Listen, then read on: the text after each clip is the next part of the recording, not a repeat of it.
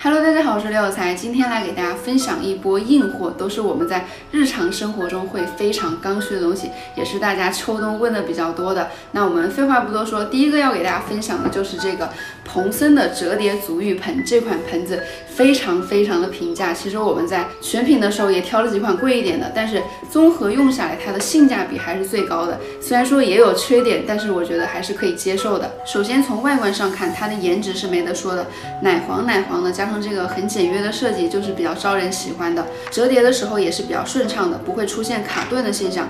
折叠好了之后，它的高度是差不多八厘米的样子，是比较好收纳的。放在桌底或者是缝隙都是可以的。然后它是恒温四十八度的，就是说你不管是加冷水还是热水进去，它加热到四十八度之后就一直维持在这个温度了。那说到这里了，就要说到它的一个缺点了，因为它整个盆只有一个按钮，就是它的开关，所以它不像有一些比较贵的足浴盆是有一个按钮可以去调节它几档温度的，这个它就只有一个温度，就是四十八度。所以当我们觉得热了的话，要手动去关掉开关；觉得冷了的话，就要再打开继续加热。这个是。有点不太方便的地方，但是话说回来哈，因为我泡脚的时候只会泡二十分钟左右，所以实际使用的时候也只会按一次开关，就是觉得温度 OK 的时候关掉就可以了，不会说一直关了开开了关。但是对于比较喜欢泡时间长一点的同学来说，这个可能就有点不太方便了。然后我觉得父母辈的可能就会比较喜欢这样的，因为它操作很简单嘛，就一个按钮，所以在这一点上可能也是因人而异的。然后它还有一个缺点就是它展开之后的高度是二十一厘米，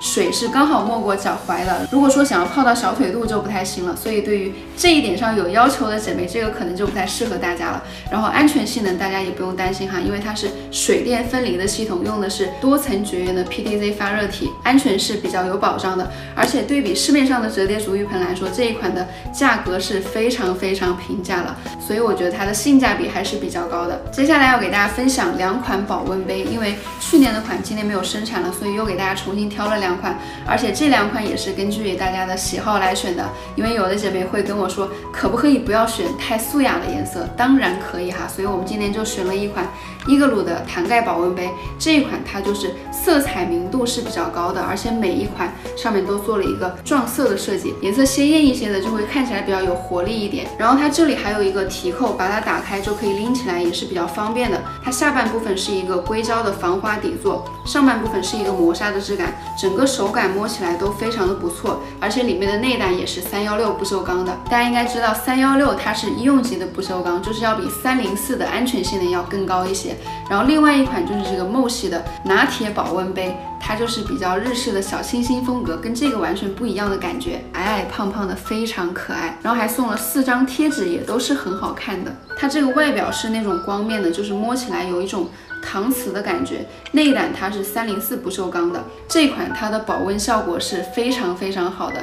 它在倒进去热水十二个小时之后，还能达到六十度的水温，二十四个小时之后还能达到四十度。我之前把它俩放在一块测温，就是下午三点倒进去热水，大概是九十六点五度这样，到第二天早上八点半是过去十七个半小时了。梦喜的这款温度还在五十三度左右，还是有点烫手的。伊格鲁这款是在三十二度左右，它就是一个温。水了，两款保温效果都是非常不错的。因为像一般的保温杯，大概在十二个小时之后，它可能已经开始变凉了嘛。当然，这两个价格也是不同的，这个在七十九块钱这样子，然后木氏的这款就要贵一些了。但是对比某宝来说，我们给大家团的价格也是非常非常低了。所以这两款大家可以根据自己的需求和喜去选择。接下来是咱们秋冬必不可少的身体乳，这一款是 Cheremo 的。其实我之前并没有觉得这个身体乳它有多厉害，觉得就是普通的身体乳啊。直到有一天我的手脱皮干裂到就像龟壳一样，就还蛮严重的。然后我就连续擦了它三天，每次洗完手都擦，每天睡前也擦，居然好的差不多了。所以它在我心目中的高度一下就到达了这个地方。然后我就去仔细研究了一下它的成分表，就除了水之外，排在第一位的是角鲨烷。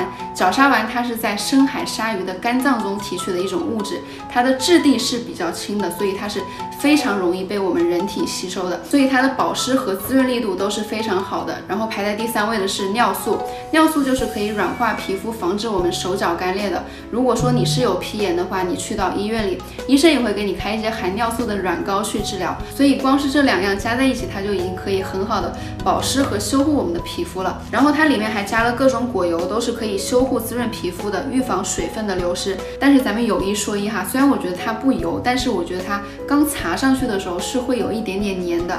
然后我们试了五个品牌的身体乳，就是滋润度不错的，都会觉得有一点点的黏感，但是不会持续很久。所以如果是特别介意黏的姐妹，你们就要慎重选择了。然后他们是和世界顶尖的香料公司合作的，所以每一款的香味也都是还不错的。但是我个人最喜欢的还是这个庭中橘树新出的那个月下梅里，我反而觉得一般哈。但是香味这个东西，每个人的感知也是不一样的嘛。整体来说还是非常不错的。接下来再给大家分享两款比较健康的零食，第一个就是这个悦农部落的黑芝麻丸，这个我一口气也能吃掉四五颗，就觉得还挺好吃的，因为它的甜度并不是很高，对于我来说是刚刚好的。然后给大家看一下它里面的配料，就是黑芝麻、黑米、黑豆、蜂蜜就没了，没有任何添加剂，也不用担心会长胖。而且它里面的黑芝麻成分是超过百分之九十五的，咬下去就是软软的，然后吃到嘴里就是。满满的黑芝麻香，非常纯正。但是有一点我想说的就是它里面的这个油，有一些姐妹可能会不太习惯。大家看一下，就是这个袋子里面正常的油度就是这样子的。真正品质好的芝麻在制作过程中经过晒和蒸才会出油，所以它的口感才不会过于干。然后我觉得它的湿润度也是刚刚好的，也不会觉得很油腻。但是特别怕油的姐妹就不要买了，因为我有一个朋友就是这样，我给他吃一颗，他打开之后一看这个袋子里面很多油，他就丢到一边去了。所以说这个要根据自己的口味和接受度来选择哈。最后一个就是三酱的荞麦片，它是和川大研究院共同研发的，它的主要成分就是苦荞。苦荞里面是有一种抗性淀粉的，就是在我们吃进去之后，会让我们的升糖变得比较缓慢，而且它是非油炸的，里面的蔬菜水果也都是冻干的。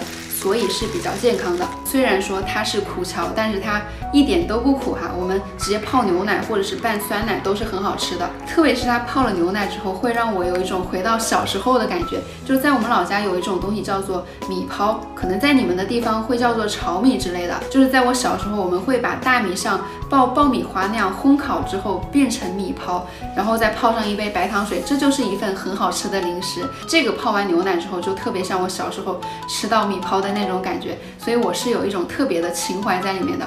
如果说你们吃过类似的东西，一定也会很喜欢它的，就是一种小时候的幸福的记忆。